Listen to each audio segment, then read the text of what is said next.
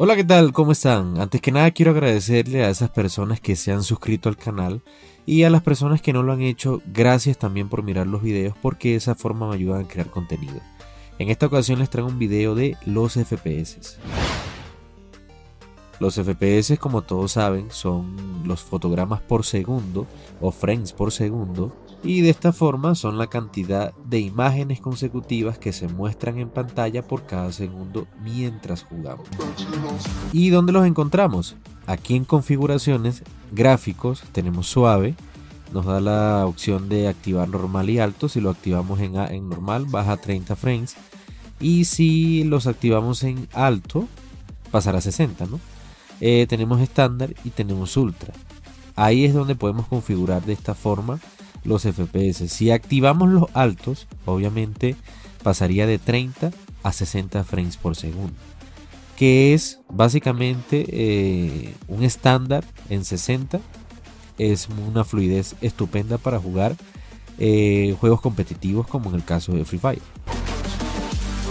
El juego nos da la opción por defecto de o jugarlos en normal, que sería 30 FPS por segundo, o jugarlos en alto, que ya sería 60 frames por segundo. Eh, de esta forma ustedes pueden elegir también dependiendo de su equipo, bien sea en teléfono o en PC. Entonces vamos a pasar ahora a unas pruebas que realicé jugando Free Fire a varios frames por segundo.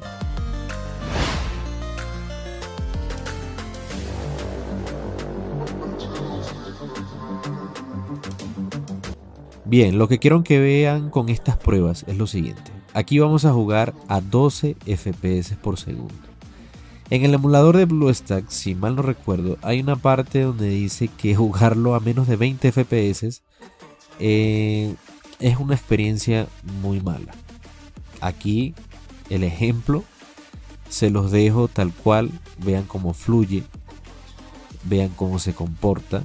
Hay personas que yo sé que juegan a esta cantidad de frames por segundo. Y pues la fluidez es incómoda. La verdad que un juego que te corra 12 FPS por segundo no es imposible jugarlo porque aquí tienen la prueba, pero fíjense cómo corre.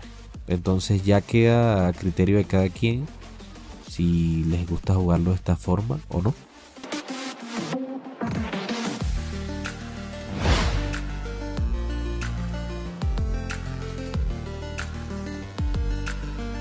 Bien, pasamos ahora a 24 fotogramas por segundo. Aquí ya el juego va teniendo otra fluidez. Y yo he visto muchísimos casos de personas que se quejan de que a veces lo juegan a 30 FPS por segundo estables, tienen caídas hasta 20 o 25, pero yo la verdad, si aquí están 24 muchachos, aquí no hay de otra. El máximo aquí es 24. Pero yo no sé, yo a mi experiencia, yo les voy a hablar en base a mi experiencia. Yo no estoy viendo que no se pueda jugar a 24 FPS, ni siquiera estamos en 30. Pero bueno, eso ya depende del gusto de cada persona, de cómo lo quiera jugar y cómo se sienta mejor. Pero aquí en 24 queda comprobado que todavía se puede jugar. A diferencia de, bueno, vamos a probar ahora con 30 y luego probaremos con 60 frames por segundo.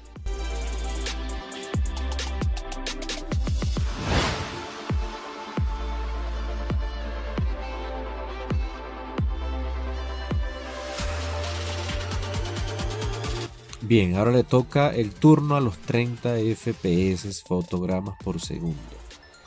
Miren, muchos juegos antiguos estaban al límite de 30 FPS. Yo creo que ya aquí es totalmente recomendable jugarlo. En el caso de que si ustedes los pueden jugar a más de 30, bien, pero ya con una persona que lo juegue a 30, bien juegue en PC o bien juegue en teléfono, ya es algo estable ya 30 frames por segundo es algo estable. Si tiene caídas a 24, ya vieron que también lo pueden jugar, pero bueno, si ya tiene caídas a más de 10, perdón, a menos de 10 o 12 como probamos la primera vez, ya sí se nota un poco de, de diferencia. Pero aquí estamos en 30. 30 FPS por segundo, 30 estables. Quien lo puede jugar en teléfono a 30 FPS y en PC a 30 FPS, pueden jugarlo. De verdad que la fluidez a 30 es muy buena.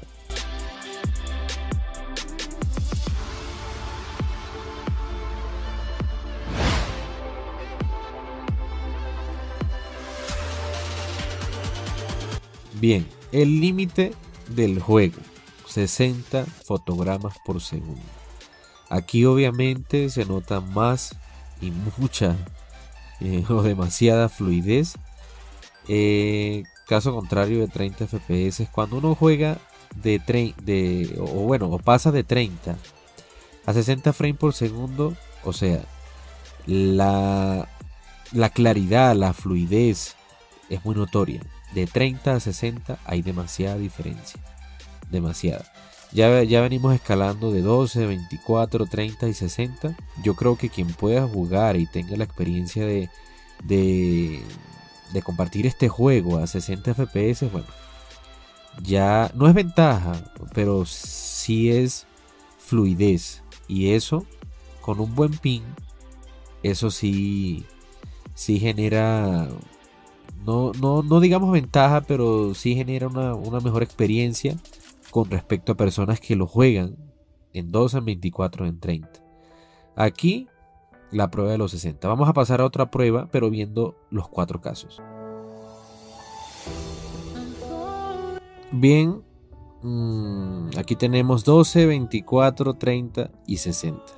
Juzguen por ustedes mismos. Eh, yo la verdad, o sea, de 24 hacia arriba, yo creo que se puede jugar. Pero ya si, si hay personas que juegan a menos de 12 o en 12 o en 15, sí la verdad me compadezco de ellos porque es una experiencia muy mala. O sea, hay muchos casos en, Facebook que he visto, en Instagram, personas preguntando y diciendo que, lo juegan a, menos de, de, 30 y la verdad, bueno, los entiendo. Aquí, el, aquí la prueba. Aquí tienen, por eso les quise hacer este ejemplo para que ustedes vean.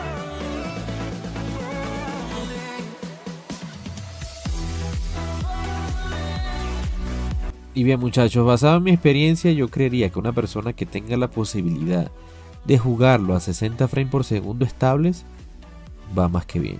O sea, es el límite que ofrece el juego y yo creería que aquí, o sea, no, no tiene problema, siempre y cuando sean los 60 estables. Hay veces que tienen, tiene caídas de 60 a 50 a 45, pero todavía se puede jugar, es bien. Y bueno, aquí finalizo este video. Yo creo que queda más que demostrado ya cómo funcionan los frames dentro de Free Fire. Y de esta forma ustedes pueden decir o pueden evaluar también. Eh, les agradezco que me dejen en la caja de comentarios si quieren a cuántos frames lo juegan ustedes. Esto ha sido todo por hoy chicos, no olviden suscribirse y si les gustó el video regalarme un like. Eh, nos vemos y bye chicos, se cuidan.